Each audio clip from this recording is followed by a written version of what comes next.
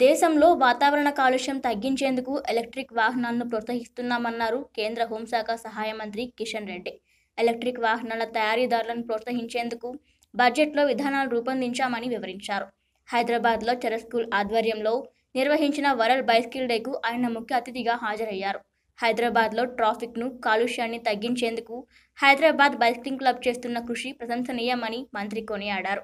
cycling చేస్తే ఆరోగ్యానికి సమాజానికి మేలు చేకూరుతుందన్నారు ఆయన అనంతరం జీహెచ్ఎంసీ జోనల్ కమిషనర్ హరిచందన మాజీ ఎమ్మెల్యే చింతల్తో కలిసి సైకిల్ రైడ్ చేశారు మంత్రి కిషన్ రెడ్డి ఈ కార్యక్రమంలో సైక్లిస్టులు చర స్కూల్ విద్యార్థులు తల్లిదండ్రులు సిబ్బంది పెద్ద ఎత్తున ఉత్సాహంగా పాల్గొన్నారు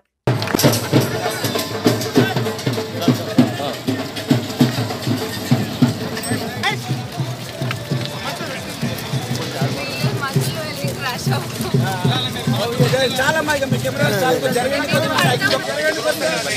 వారం